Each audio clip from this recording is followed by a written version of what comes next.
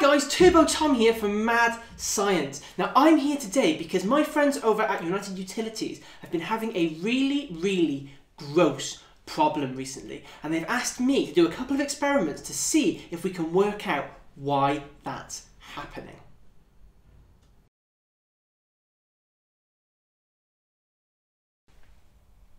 So today we're going to have a look at some different things that you can and can't put down in the toilet. So I've got here three old pop bottles and into the first one I'm going to put some toilet paper.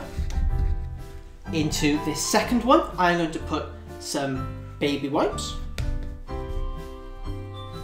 And into this third one I'm going to put some cotton buds and some cotton wool.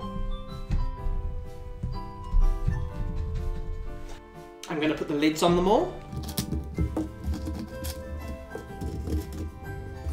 And then we're going to give them a shake.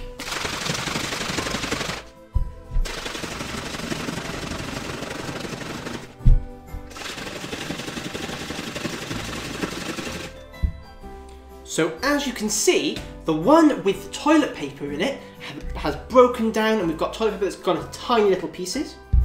The one with the white inside it is still in one whole piece. And the one with the cotton wool and the cotton buds in it has become the same kind of thing as our wipes. It's all clumped together. So this shows us the only things that we should be putting down our toilets are pee, poo and toilet paper.